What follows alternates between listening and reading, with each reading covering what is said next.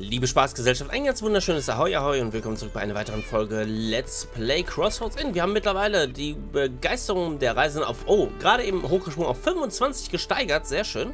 Der erweiterte Schlafraum und das etwas, die etwas verschönerten Badezimmer machen sich auf jeden Fall bezahlt. Wir werden da auch noch die Wände und den Boden ein bisschen hübscher machen. Allerdings brauchen wir dazu erstmal noch ein bisschen Geld, ne? Wenn die kleinste Violine der Welt nicht mitspielt, macht das Ganze keinen Sinn.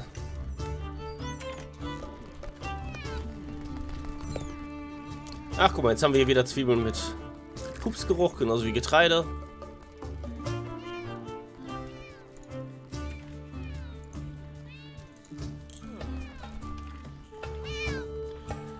So, Geld kommt rein, das ist schön. Vor allem die Übernachtungsgäste sind immer gern gesehen.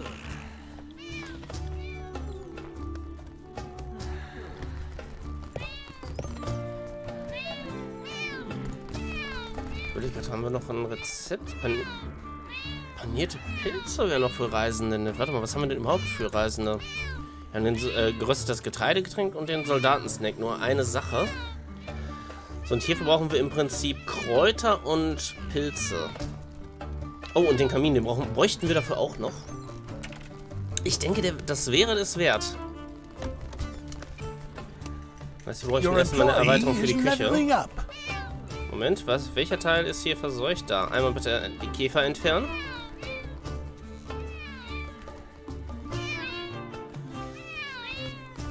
Wenn sich denn jemand dafür bereit erklären würde.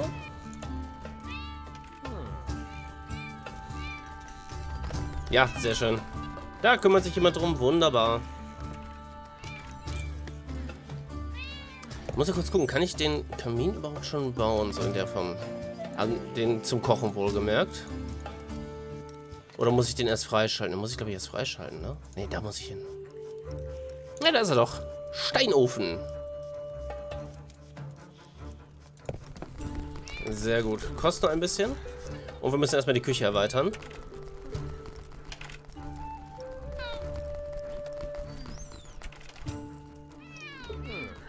Oh, freie Betten. Das sind mir die Liebsten, die einfach nur ein Bett haben wollen. Weil da muss niemand bedient werden und somit klappt da auch Ready for anything. So, und du hörst jetzt mal auf rumzugammeln. Oh, ihr seid ja wieder alle richtig schlecht drauf. What can I do for you?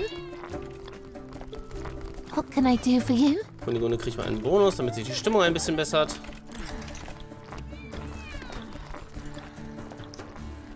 Ich muss noch kurz mal den Mitarbeiter ein bisschen... I live to serve.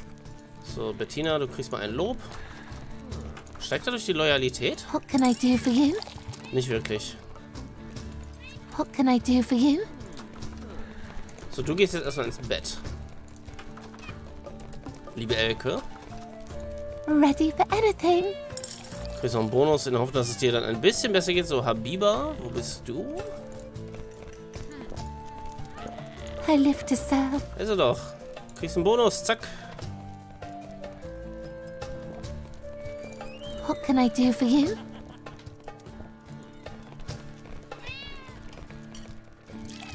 So, wir haben 1000 Flocken. Ich würde sagen, das reicht für eine Erweiterung der Küche.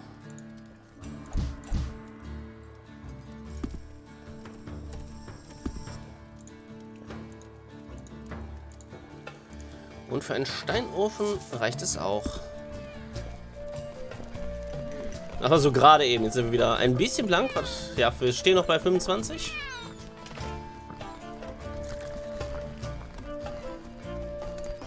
Warte mal, ich muss kurz gucken, was wir alles anbauen könnten. Medizin, aber ist Medizin gleich Kräuter?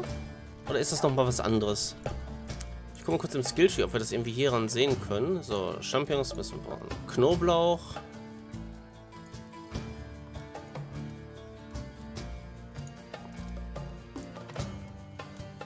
Trauben, Tomaten, Hopfen. Ich glaube, das sind die Kräuter, oder? Warte mal, haben wir hier noch was? Möhren, Kohl.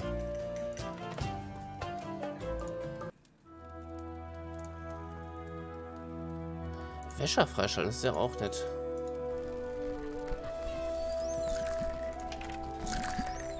Wisst ihr was? Wir machen das so, ich teste mal. Bauen hier mal Medizin an.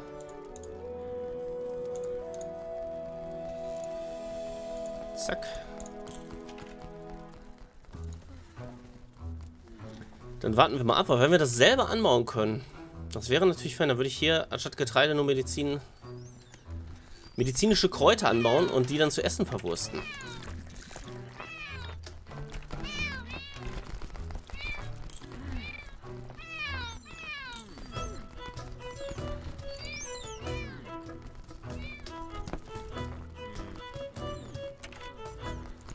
I live to serve. Ach, Bettina, arbeite doch mal ein bisschen, hm? So, guck.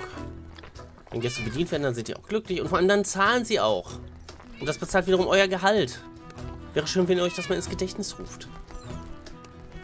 Nachdem ihr euch schon ständig einen Bonus hinterher werfe, fände ich es angebracht, wenn ihr da auch mal ein bisschen ne, I'll clean it right now. Taten walten lasst. On it. I'll clean it right now. Also direkt die Stimmung mal verbessert. I'm not too old for this shit, but I'm getting close.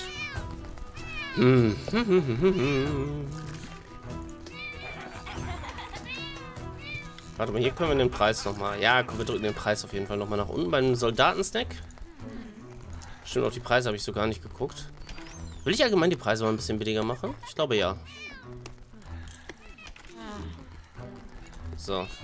Ich gucke jetzt, dass überall ein Grinsen da ist.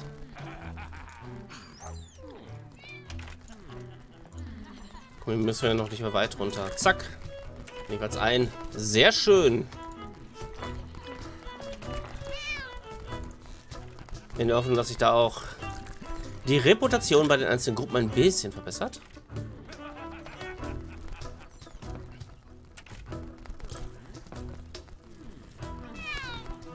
Alle ganz fleißig und irgendwie macht ihr nur da sauber, wo schon sauber ist. Hm, komisch.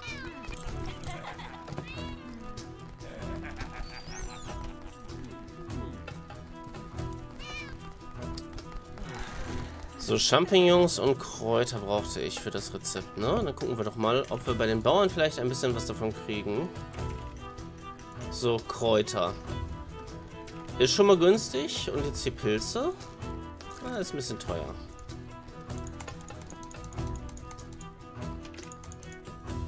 Zehn reputation Kräuter. is improving.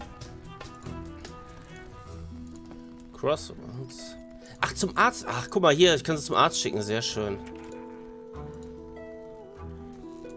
So, Kräuter haben wir schon. Pilze brauchen wir noch. Da gibt es aber keine. Wie schaut es bei Peeping Tom aus? Hast du ein paar Pilze? Hast du. Die sind aber noch teurer. Das ist nicht gut. Alter Markt.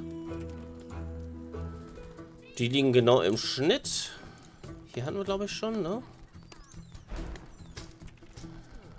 Gut, dann Zack. Zack, zack. Holen wir mal alles so ran.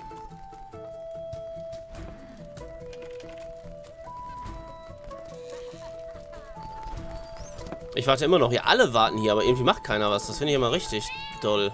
I live to serve. I'll clean it right now. I live to serve. I live to serve.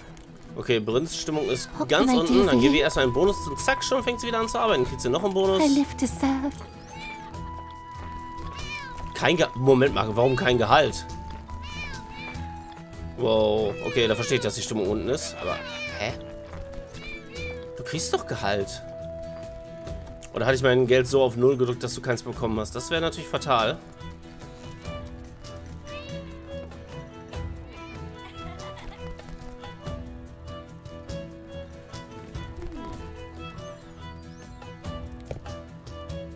Ach so, da kommt unsere Lieferung. Ich wollte gerade schauen, ob die schon da ist.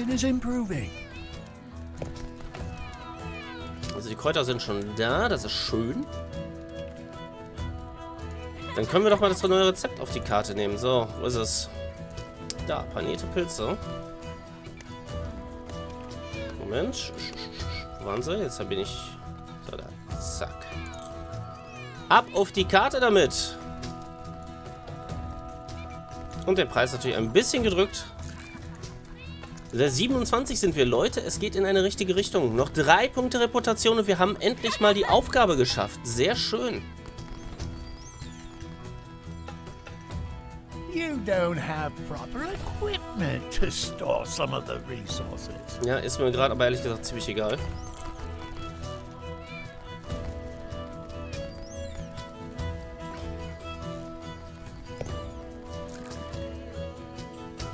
Kann es sein, dass das Fleisch die ganze Zeit hier drin bleibt?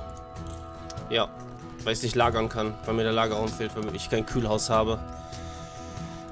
Oh Mann, ich wäre schon ein Selbstversorger, was Wurst angeht, wenn ich ein Kühlhaus hätte und das entsprechend mit Eis versorgen könnte. Wäre, wäre Fahrradkette. Wie ein gewisser Ex-Fußballer mal so schon sagte. Wie sieht eigentlich die Zimmerbewertung aus für die Badezimmer? Warum ist das eine Badezimmer ein bisschen besser? Die sind doch exakt baugleich. Check ich nicht. Wahrscheinlich, weil es Badewasser hat. Wollen wir noch mal ein bisschen dekorieren?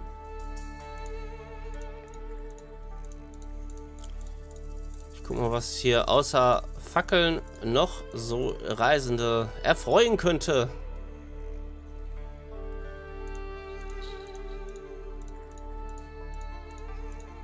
Oder muss man das alles erst erforschen, was die erfreut?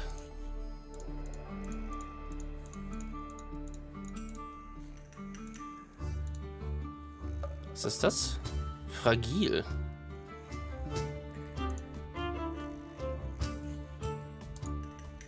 Ach, nicht genug Gold für das Bild. Ich gucke erstmal, ob wir irgendwo noch was haben, was konkret für Reisende ist. Mein Gott, so eine Statue, die ist natürlich monstermäßig schick. Wehrt Insekten ab. Erfordert Kreuz. Ja, okay.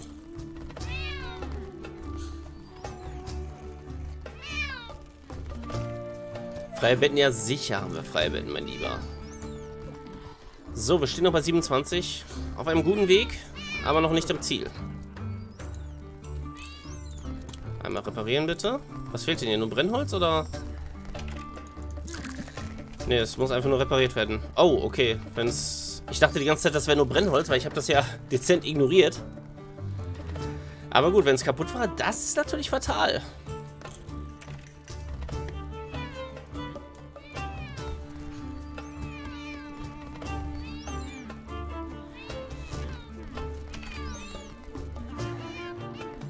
So, und schon geht's wieder hier. Kannst du eigentlich auch putzen? Yeah, yeah. Von den Aufgaben her? Reinigung, komm, mach du das doch mal ganz hoch. In deiner Prio.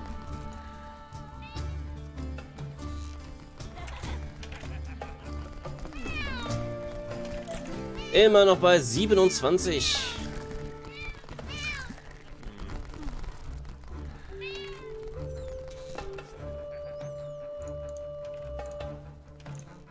Okay, da brauchen die nur ein bisschen Fett.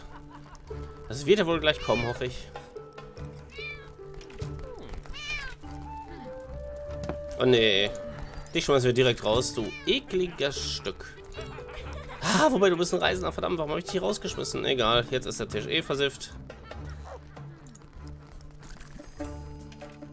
So, raus mit dir, du Lump.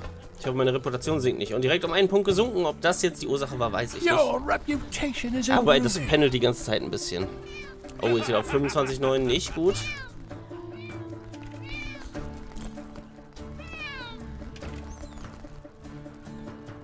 You don't have proper equipment to store some of the resources. Ach, die Champignons liegen da noch. Okay. So, hat denn schon jemand hier Kräuter verwendet? Ja, zweimal wurde das Gericht anscheinend schon bestellt. Finde ich gut. Your employee is leveling up.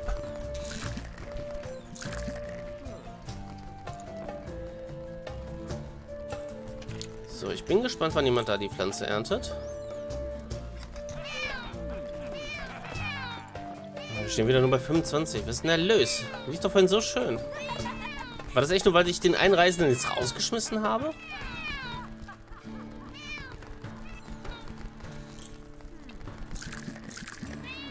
Es würde mich wundern. Your reputation is improving. So, Dekoration. Wollen wir hier mal so eine Heldenstatue hinstellen? So, haben wir richtig einen raus. Oh, das sollten wir hier auch mal machen. Wow, das hat ja... Also für 1000 hat das echt wenig gebracht, muss ich gestehen.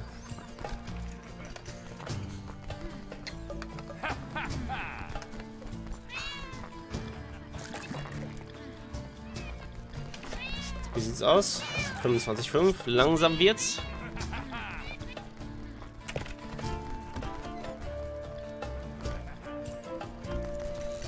Eigentlich? Innkeeper Hand Mode oder so. Ist natürlich toll, dass der Tooltip dahinter ist.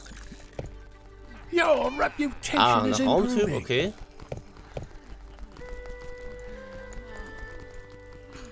Hm, okay. Macht irgendwie keinen Sinn, dieser Button. Egal. Your employee is leveling up. Meine Reputation sinkt weiter. 24,9 sind wir nur noch. Was ist da los? Obwohl er gerade sagte, Reputation is improving. Irgendwas passt da doch nicht. Your reputation is improving.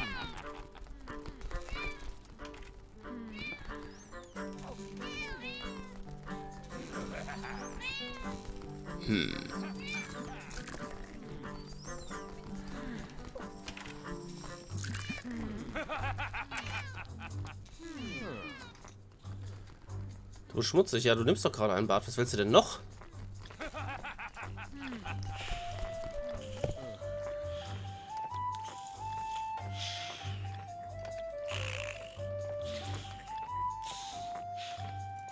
So, hängen wir hier mal ein Bildchen hin.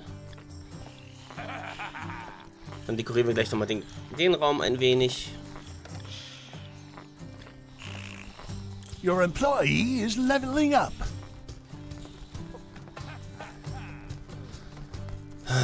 Machen Marktschreier Sinn? Weil ich meine, wir müssen ja irgendwie auch... Was ist hier für ein Symbol? Your reputation is Zusätzliche. Ressourcen freischalten. Sehr schön. Was haben wir denn jetzt noch zusätzlich? Your reputation is improving. Oh, Rindfleisch gibt's hier jetzt. Eis können wir holen. Hm.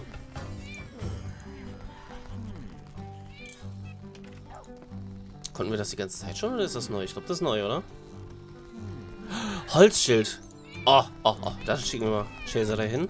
Your reputation is improving. Stimmt, neue Möbel. Da könnte ich doch mal nachschauen. Ne, der bringt mir noch nichts. Da ist Rezept neue Möbel. Ja, das ist auch uninteressant. Vorerst auch. Äh, hier können wir keine neuen Möbel. Können wir das? Ne, können wir nicht.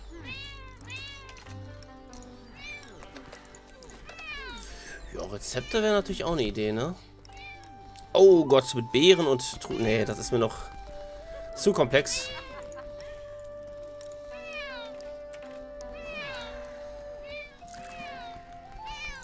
Da senken wir einmal die Kosten, einfach weil wir gerade eh die Punkte übrig haben. Wasser und Brot brauchen wir nur. Für Quass? Ja, her damit. Wenn es so einfach geht. 25.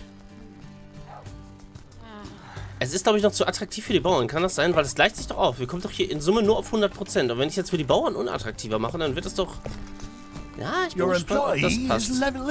Oh, mein Gedankengang. Mal schauen.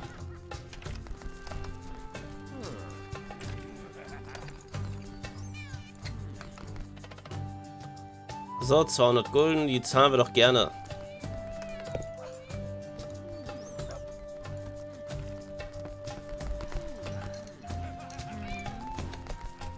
Mach's mal... Hm? Ich hab doch einen Grill, was... Der ist sogar in Benutzung. Ah, muss er wieder repariert werden? Ach, der... So. Ja, jetzt geht er auch wieder. Ich mache die Preise mal so, dass die gerade noch so in dem Bereich des Zahlbaren sind. Your reputation is improving. 26,4, okay. Ob das jetzt von den Preisen her kommt oder nur mal wieder so ein übliches Auf- und Abpendeln war, weiß ich nicht. Wird sich zeigen, hoffe ich. Your reputation is improving. Das müsste auch mal repariert werden, bitte. Wenn jemand die Güte besäße, dies zu tun. Hm, ich glaube, das war nur ein übliches Pendeln.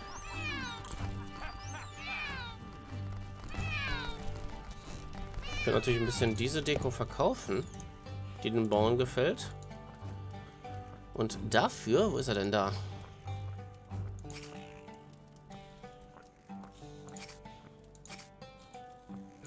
Hängen wir mal ein paar Schilder auf. Zack. Okay, kein Gold mehr. Gut, es möge reichen.